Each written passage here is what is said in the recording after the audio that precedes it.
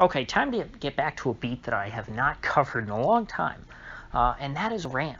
Um, we've had a few scares uh, over potential wars with Iran during the time of the Trump administration. I was very critical um, of Trump in those cases uh, because uh, while I will give him credit that he did not go over the line and start a war with Iran, he came pretty darn close a couple of times.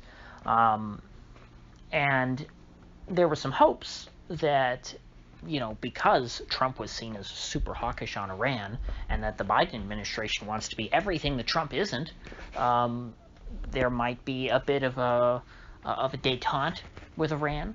Um, you know, the the the Biden folks ran on getting back into the nuclear deal, which really isn't necessary. It was kind of window dressing, um, but you know, it's at least a sign that they want to be a little more diplomatic with Iran and the guy that uh, he picked to be the defense secretary was somebody who, at the time when the when uh, the Obama administration started the Yemen war, uh, he was opposed to it because he was working with the Houthis directly, um, sharing intelligence with them so that they could target Al Qaeda in Yemen. And so, you know, things were looking, at least on the Iran front, like they might get marginally better than they were under Trump.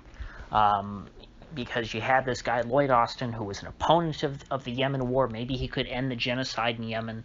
Um, and you also had uh, the overall, you know, administration saying, "Yeah, we want to get back in the Iran deal," because that was seen as a top achievement of Barack Obama. So you, if you get back in the Iran deal and get make nice with Iran, you know, you could be returning to the Obama era, and that could give people some warm, fuzzy feelings who like Obama. You know, unlike me. But it seems that we're going to get none of that. Um, the uh, the Biden administration does not seem to be moving towards ending the war in Yemen. In fact, they're not even going to overturn um, this, you know, uh, form of sanction that um, Pompeo put on Yemen on his way out the door. Uh, where I think it was he, he declared the Houthis a terrorist organization, which means that all of these NGOs that are sending food to Yemen, you know, through the Houthi government, um, essentially cannot go anywhere, can't touch the Houthis with a 10 foot pole. And if you can't touch the Houthis with a 10 foot pole, you certainly can't feed them. And so the already starving Yemenis are going to starve even more, uh, and I guess starve quicker. Now, the Biden folks, their response to all this is not just to immediately repeal and overturn this last-minute thing that Pompeo did. They said, "Oh, we'll, we'll you know, we'll create a committee uh, to study the matter." Uh, which, you know, whenever governments do that, that's just a way of sweeping an issue under the rug. Um, and even so, you know, in the meantime, people are starving. So, uh, not a great start. Does not seem to indicate to me that they're going to do much to get out of Yemen. And now, with all this warmongering with Iran, I definitely don't think they're going to do anything about Yemen because uh, getting out of the Yemen war is uh, a, a, way, uh, you know, even though this is nonsensical to the establishment, that is being soft on Iran because, you know, somehow in their sick, twisted minds, they equate um, starving out the poor people of Yemen, the poorest country in the Middle East, um, literally creating a famine there, bombing uh, their food supply, bombing the grain silos, bombing uh, the flocks of sheep in the field, um, bombing their water treatment facilities, uh, causing a cholera outbreak, um, that to them is sticking it to Iran because supposedly uh, the faction, which is you know one of the factions in the Yemeni civil war, uh, happens to be, I guess, since they're enemies of the Saudis, that makes them friends with Iran, even though to begin with they really didn't have anything to do with Iran. They're not even the same sect of of, uh, of Islam as Iran. They said that, oh well, the Houthis are Shiites, so that must mean they're friends with Iran. It's like, well, no, not really, because they're not 12ers and they're they're kind of their own thing. Um, but you know, in the meantime, because Iran is the only country that will talk to them, they've gotten kind of close with Iran. But Iran can't get sneak any weapons into them or anything. There have been a bunch of hoaxes where people like Nikki Haley have said, "Oh my gosh, look, the Houthis, they're firing off Iranian missiles," and it's like, well, no, those were actually North Korean missiles that the old Cold War communist uh, Yemeni government had purchased uh, that you know the Houthis just found lying around because they control the capital, um, and uh, you know we so so this is where we've been at for for a few years now. Uh, starve the people of Yemen, bomb them into oblivion, because uh, it's too hard to fight a war with Iran. And so now you've got uh, Blinken, who is uh, god awful, the new Secretary of State. Um, he's you know he's just as bad as Mike Pompeo or Hillary Clinton or anybody else who's been the Secretary of State, uh, John Kerry, all the rest of them. He's probably worse than John Kerry even. Blinken decided to trot out the one of the oldest lies you know, of American foreign policy, um, and that is the old Iran is just weeks away from being able to build a nuclear weapon. Uh, that is a line that Bibi Netanyahu, because um, he started it, and then you know the Americans picked it up because a lot of people in Washington are just puppets of Bibi, um, or I shouldn't say puppets, but they're lackeys, they're fanboys. Uh, they want to do whatever Bibi says. They love Bibi, um, left and right. And for longer than I've been alive, Bibi Netanyahu has been saying Iran is just weeks away from being able to, to construct a nuclear weapon. Uh, you know, he had his little doomsday clock. He had the little the bomb that was filling up, and it was almost at 100%. Almost at 100%. And this has been for my entire life. Uh, way back in the 90s, when Bibi was first uh, the prime minister, I believe, is when he started saying this. And obviously, it's been a lie this whole time. And thankfully, a lot of people are pushing back on Blinken for saying this, because enough people have heard this lie for the la- for over 20 years, and uh, you know they're tired of it, and they're saying, no, we don't believe you anymore.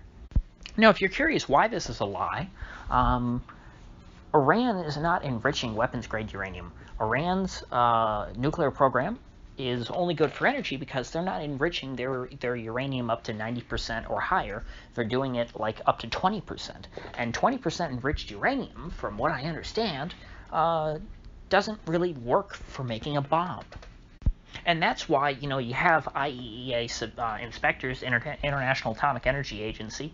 Uh, those are the people who enforce the Nuclear Non-Proliferation Treaty, which Iran was already a party to long before the Iran deal. They'd signed it for, you know, for however long ago.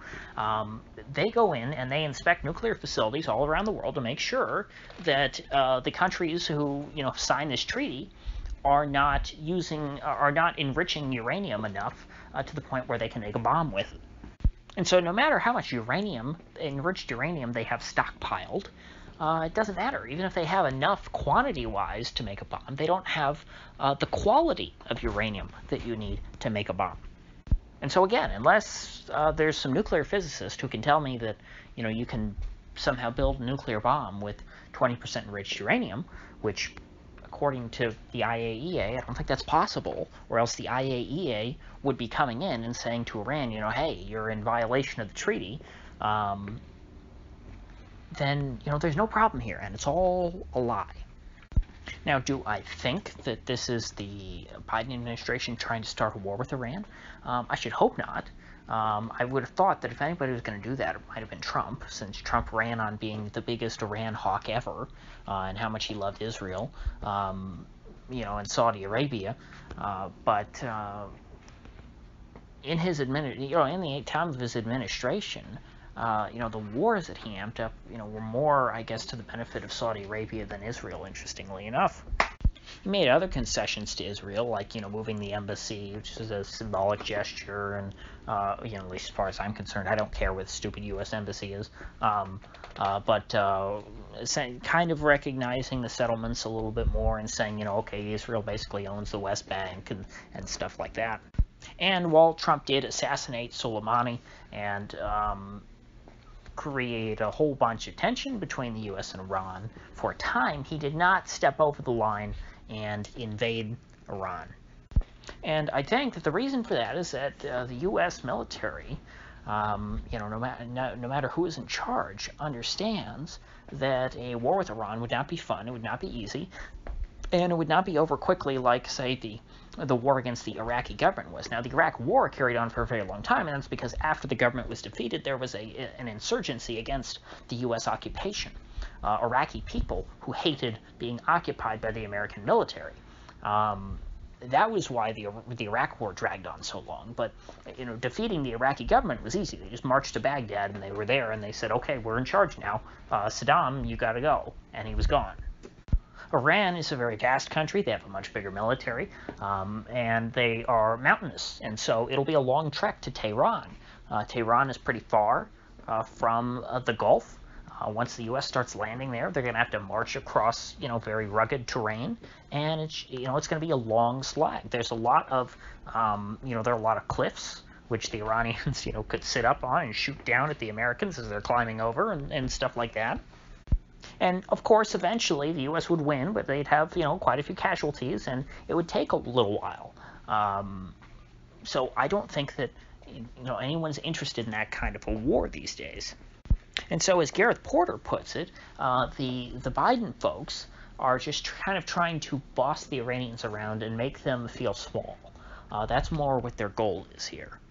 They look at the Iranians as weak people who, if they slap them around a little bit, they will just do as they say. And if so, that means that their belligerency won't really go anywhere. Now, will it be productive? No. Um, but uh, you know, I don't think that they're going to bait the Iranians into doing anything ridiculous. I think that the Iranians kind of see, uh, you know, what they're doing, kind of in the same way that the Iranians, you know, they go out there and they shout "Death to America" at their big rallies, and they go, "We're gonna, we're gonna kill all the the Jews in Israel, and we're gonna kill all the Americans, and Iran will be the king, emperor, or, or the biggest uh, pow- world power." We're going to rule the world. I don't think they actually say that, but I mean they, they say some pretty provocative things at, at their rallies, which you know is why people you know in Israel and the U.S. you know like to like to hate Iran. You know it's not like there's no reason. And so the Iranians understand that uh, you know the U.S. administration, uh, whoever it is, is going to talk tough about them and not be nice to them to you know in public they're not dumb enough to go firing off missiles at the U.S. because Blinken uh, is being uh, obtuse and is repeating, you know, an old Israeli lie. And so what this looks like to me, uh, more most likely, is, is gridlock.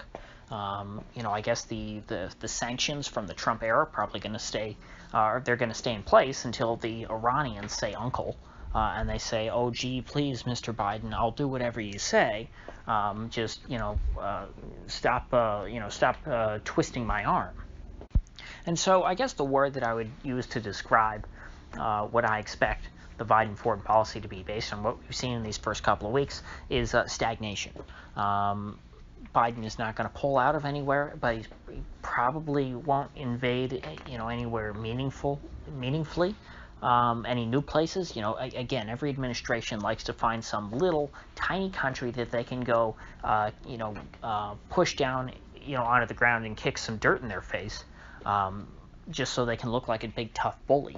Um, many uh, many Americans have articulated that they, they think that the the U.S. Got, you know the U.S. military should do that every few years just to remind the world that we're big and tough and we're the tough guys. Reagan had Grenada, um, Bush Sr. had Kuwait, uh, and well, W went a little overboard because he used uh, he used 9/11 as an excuse to invade Afghanistan and Iraq, even though neither of those countries had anything to do with 9/11. Clinton, of course, had Serbia. Um, every president likes to find these. Uh, oh, and I, how could I also forget? Uh, um, uh, Honduras, I believe, was also under Clinton, and you had Panama under Bush Senior. So Bush Senior had a couple of, you know, had a couple of little wars. But other than that, I think that Biden will remain bogged down in probably all the same conflicts that we're already involved. There's going to be no progress made anywhere. There's going to be no peace in Afghanistan. Uh, there's going to be no peace with Iran. Uh, there's going to be no stepping away from Saudi Arabia and Israel. And, you know, putting uh, putting our own country first. Certainly, no. America first is racism. Um, you know, we all know that the most woke thing on the earth is siding with Saudi Arabia and Israel. And so the American empire, I think, is going to atrophy and decay.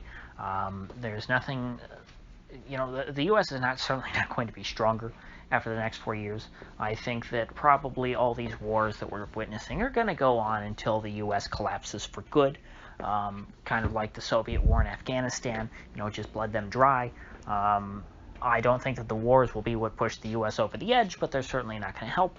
And when the final collapse of the United States occurs, um, you know, then these troops will finally be withdrawn then you know there will stop being so much uh, saber rattling with Iran. Then there will be so much you know they'll stop defending the interests of Saudi Arabia and Israel um, because there will be no more resources left. The U.S. will just simply not be able to at that point. But uh, the the strength, uh, the uh, the uh, the uh, bureaucratic inertia as we saw under Trump um, is strong, and I don't think that it's going to be overturned in any meaningful way.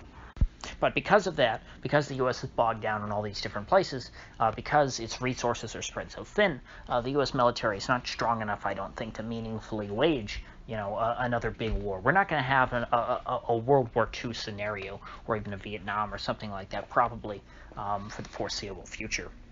And so that's about uh, uh, that's about all I have to say for today on this matter. Uh, if you gain anything of value out of this video, I'd appreciate you clicking that like button and sharing this video. And if you haven't already, please do subscribe because I do upload every day and I'd hate to have you miss one. So I'll see you folks back here tomorrow.